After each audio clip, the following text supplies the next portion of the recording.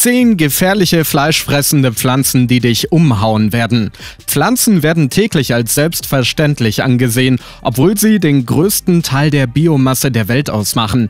Wir meiden die Pflanzen, von denen wir wissen, dass sie giftig sind und freuen uns über die, die uns ernähren. Aber es gibt fleischfressende Pflanzen, die nicht nur gefährlich, sondern auch hilfreich sein können, ob du es glaubst oder nicht. In diesem Sinne, schnall dich an und sieh dir unsere Liste der 10 gefährlichsten tierfressenden Pflanzen an, die dich umhauen werden.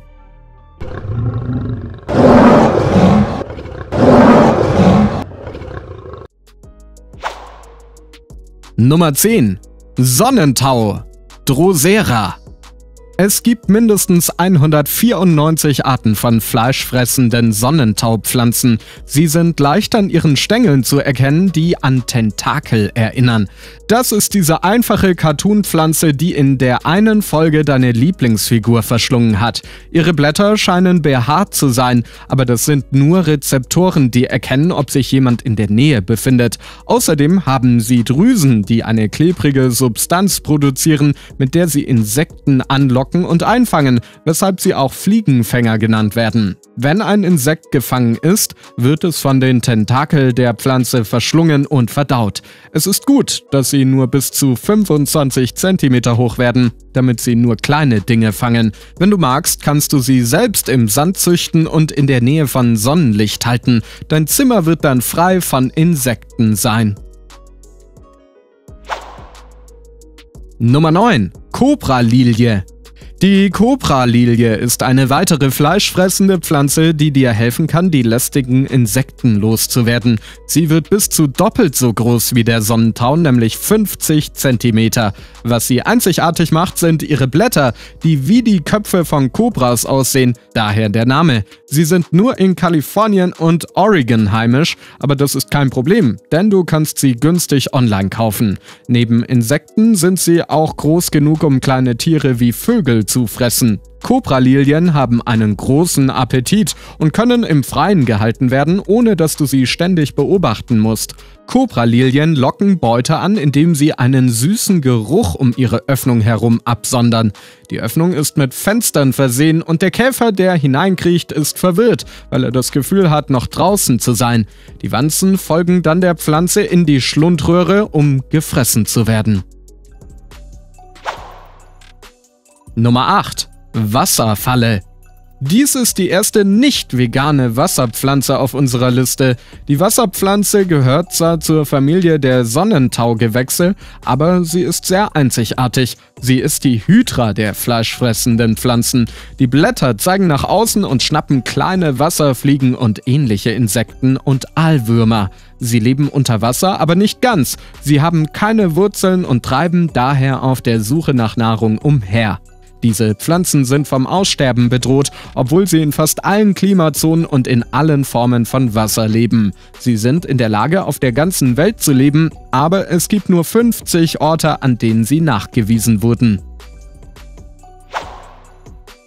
Nummer 7. Fettkräuter Sie haben zwar einen sehr schmackhaften Namen, aber ich rate davon ab, sie zu essen. Sie sind weder für Menschen noch für Haustiere giftig. Du darfst sie trotzdem gerne anfassen. Sie wirken wie Fliegenfänger, sind klebrig und verströmen einen süßen Duft, der kleine Insekten anlockt, sodass sie gefangen werden, wenn sie auf der Pflanze landen. Sie ähneln in vielerlei Hinsicht der Sonnentaupflanzen, haben aber einen cooleren Namen. Fett ist ein Geschmacksträger. Sie können sowohl im Haus als auch außerhalb gehalten werden.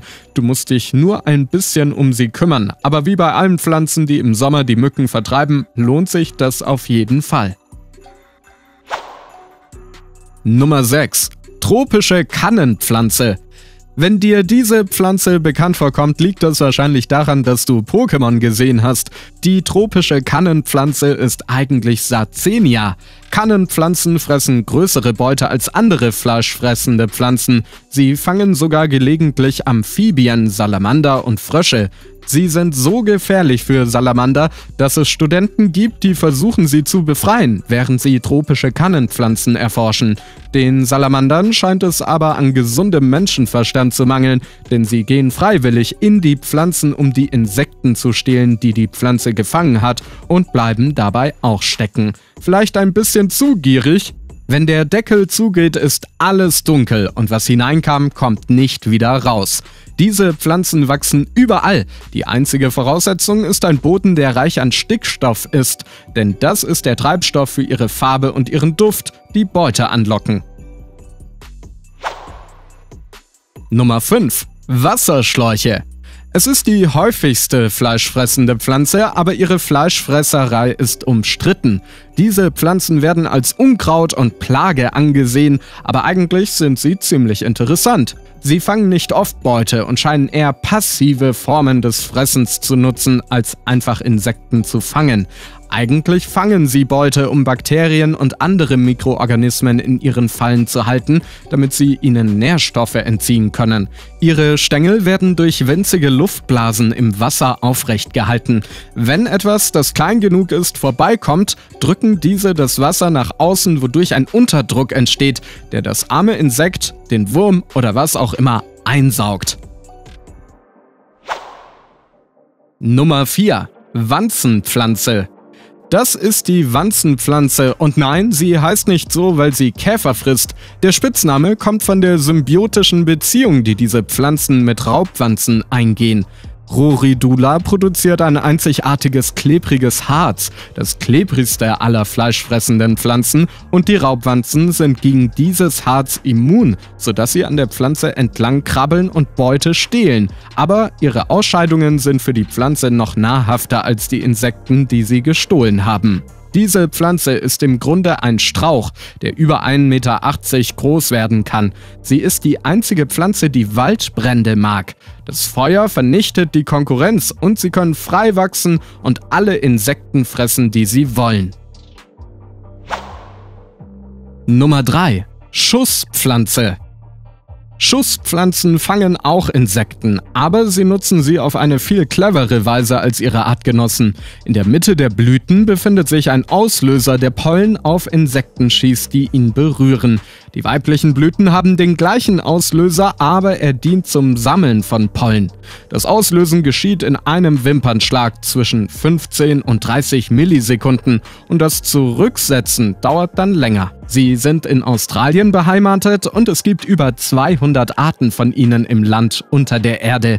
Ihr fleischfressender Aspekt mag ein Zufall sein. Sie produzieren eine klebrige Substanz, um die Blüten von kleineren Insekten zu schützen, die mit dem Pollen nichts anfangen können. Aber sie haben sich entwickelt, um kleine Insekten zu verdauen, die an ihren Blüten hängen bleiben.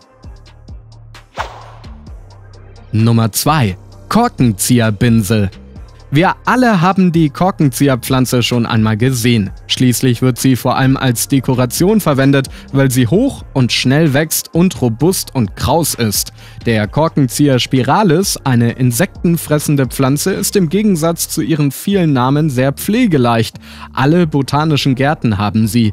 Sie können sowohl im Schatten als auch in der Sonne leben. Du kannst sie gießen, aber sie können auch ohne Wasser leben. Das Einzige, was sie verachten, ist der Winter. Aber wenn du sie im Winter bis auf den Boden abschneidest, wachsen sie im Frühjahr sofort wieder nach. Spiralispflanzen können bis zu 45 cm hoch werden und unter idealen Bedingungen bis zu 8 Jahre alt werden.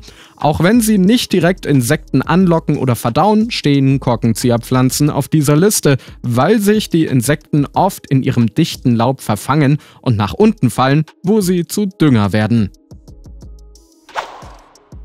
Nummer 1. Venusfliegenfalle. Endlich kommen wir zu unserem Bild des Tages. Die berühmteste Pflanze der Welt, die Königin der fleischfressenden Pflanzen, die Vorzeigepflanze der Insektenfresser, die Venusfliegenfalle. Sieh dir an, wie sie diese kleine Schnecke festhält, die nirgendwo hin kann. Wenn sie etwas spüren, schließen sich die Fallen und die Klappen verriegeln sich, damit die Beute nicht mehr entkommen kann. Trotz ihres zerbrechlichen Aussehens ist ihr Biss ziemlich stark.